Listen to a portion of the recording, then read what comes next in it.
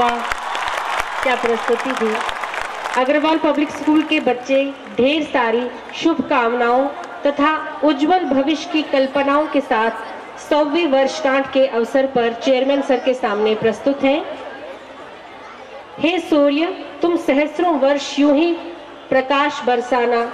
हे चंद्रमा, तुम यूँ ही शीतलता से सराबोर कराना।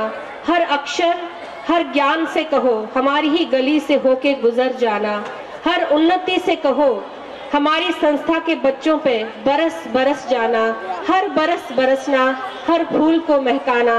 हमारी यही प्रार्थना है हमारा उपवन हरा भरा बनाना। हमारा उपवन हरा भरा बनाना। सुंदर वाइट है पूरे देश में सबको। कितनी बड़ी वाइट है। क्या मरवाओगा मैंने? बताओ। आओ गुप्ता जी आगे क्या करवाना है इन्होंने वास्तव में देश पहले तो मंत्री जी आप यहाँ पर आए हैं क्या कार्यक्रम है आज अग्रवाल या बचानी समाज में बहुत तो इसके लिए जो रसूल ने पैंतीस साल इस संस्था को चलाया और पिछले अनेकों सालों से इस पर काम कर रहे हैं। बहुत ही सुंदर तरीके से सामाजिक संस्था को चलाने का काम और जो सामाजिक संस्थाओं का उद्देश्य होता है, उसको अगर पूर्ण करेंगे तो विद्या बचानी सभा करेंगे इसके लिए सभी को नवजोत सिंह सिद्धू के खिलाफ बल्लभगढ़ में मुकदमा दर्ज हुआ है। पंजाब के मंत्री हैं जो। तो मेरी नॉलेज में नहीं है किस बारे में मुकदमा दर्ज हुआ। मैं बताता हूँ मंत्री जी पाकिस्तान ने उनको तीतर गिफ्ट किया। उन्होंने मुख्यमंत्री को गिफ्ट कर दिया और मुख्यमंत्री ने वाइल्ड लाइफ को दे दिया।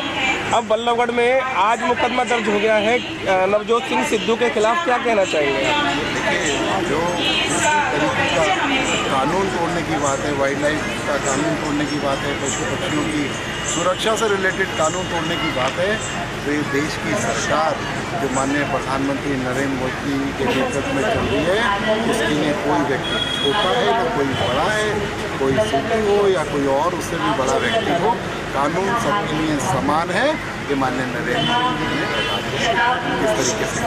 मतलब लिए के लिए क्या चाहते हैं क्या कोई खास योजना देखिए बहुत सारी योजनाएँ इसके अंदर यूनिवर्सिटी और इसके अलावा हम एच एस के अंदर लेकर आ रहे हैं। और मैं तो यही कहूँगा इस स्कूल के कार्यक्रम में भी विद्यार्थी सभा में कि रोज़गार परक शिक्षा इसके द्वारा हम युवाओं किया है हरियाणा शिक्षा बोर्ड ने और पंद्रह दिन की एक से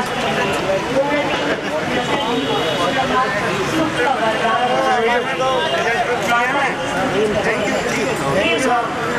पंजाब के रंग से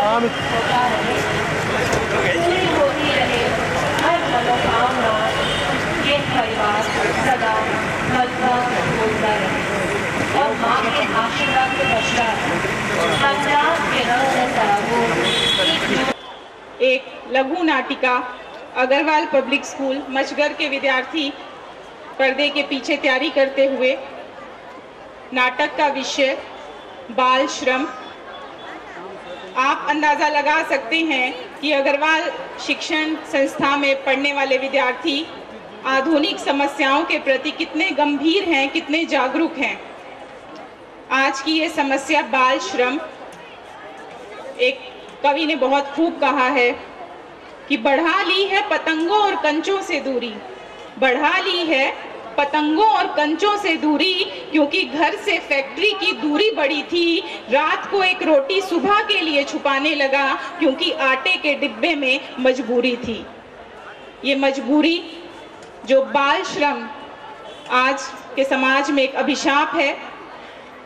खोता बचपन, ये प्रस्तुति कुछ ही क्षणों में दो कड़ियों में ये नाटक रहेगा, बाल श्रम और नारी व्यथा। तो हमारे ये विद्यार्थी बहुत ही जागरूक आधुनिक समस्याओं के प्रति।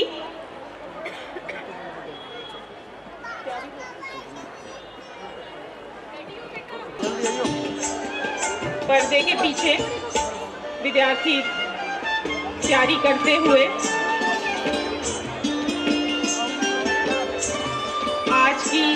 समस्या, बाल श्रम। जब बेवक्त बड़ा होता है नादान तो रोता है इंसान। ऐसा ही ये विषय बहुत ही ज्वलंत मुद्दा।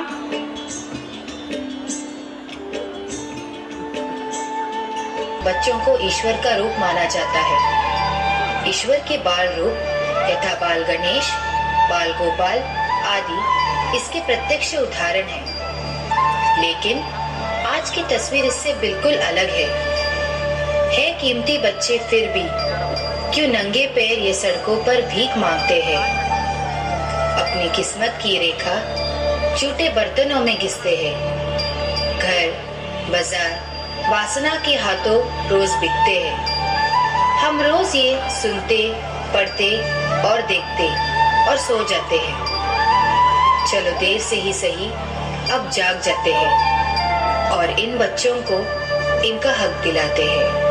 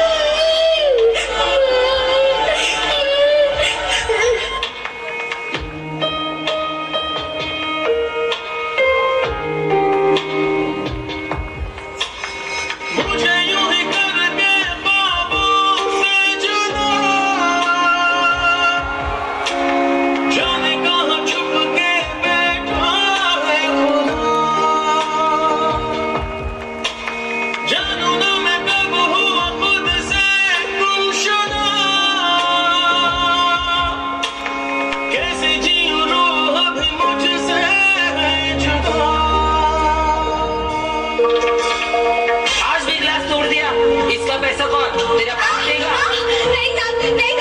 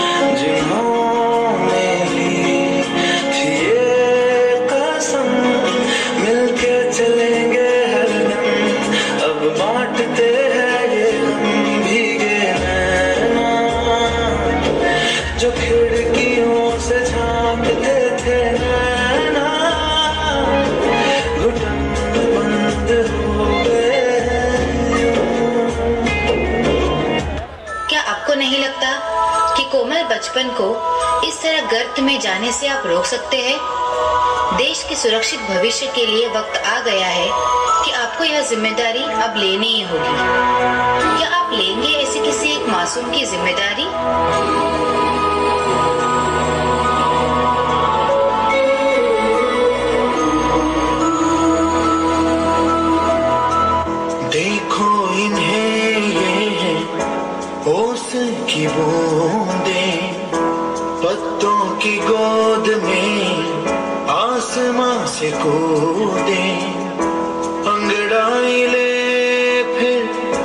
करवट बदल कर नाजुक से मोती हंस दे फिसल कर खो न जाइए।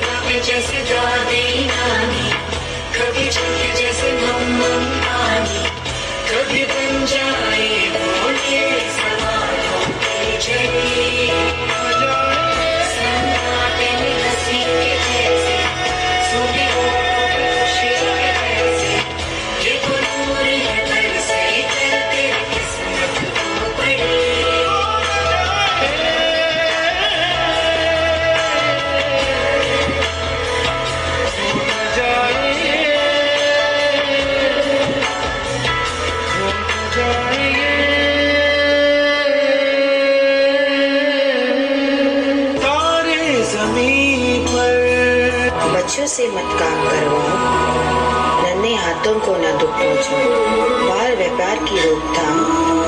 हम सब मिलकर करें ये काम।